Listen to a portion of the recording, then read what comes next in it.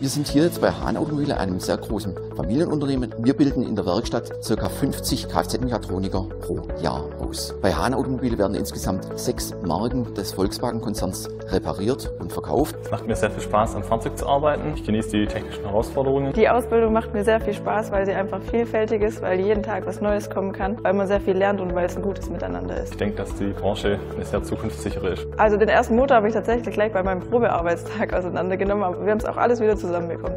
Das Auto ist wieder gefahren. Eine Woche nach Ausbildungsbeginn äh, findet der erste Azubi-Workshop statt. Da treffen sich alle Azubis eine Woche lang auf einen Workshop und lernen sich kennen. Die Voraussetzung als Kraftfahrzeugmechatroniker bei uns eine Lehre zu beginnen, ist ein Realschulabschluss. In der Hahn Akademie haben wir auch die Möglichkeiten, uns weiterzubilden mit verschiedenen Schulungen, zum Beispiel die Airbag-Schulung, Prüfungsvorbereitung oder Elektrokurse. Man wird unterstützt in allen Bereichen. Wenn du autoaffin bist, noch mehr Technik spüren möchtest, noch mehr Technik erleben möchtest, dann komm zu uns. Wir freuen uns auf dich.